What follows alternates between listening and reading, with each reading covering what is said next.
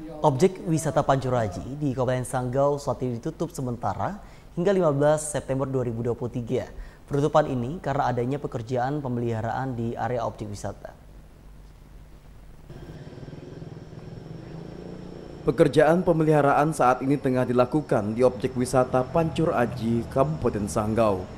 Agar pekerjaan tersebut berjalan dengan lancar, objek wisata Pancur Aji ditutup sementara hingga 15 September 2023. Taman wisata Pancur Aji untuk saat ini kita tutup sehubungan dengan adanya kegiatan pembangunan perkuatan tebing di objek wisata uh, Pancuraji karena di salah satu uh, lokasi itu tanahnya mengalami longsor sehingga perlu diberi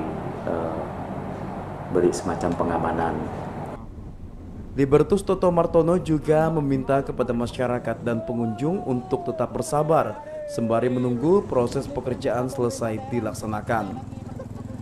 Dari Kabupaten Sanggau, kontributor YTV Bobirianto mewartakan.